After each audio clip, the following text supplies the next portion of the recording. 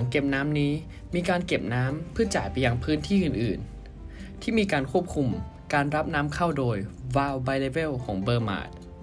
โดยจะมีตัววัดระดับน้ำอยู่ตรงพื้นผิวของน้ำในถัง หากน้ำในถังนั้นมีปริมาณมากกว่าจุดที่กำหนด วาล์วจะปิดตัวลงและไม่มีการปล่อยน้ำเข้า แต่เมื่อไหร่ที่น้ำในถังมีการใช้งานจนต่ำกว่าจุดที่ตั้งไว้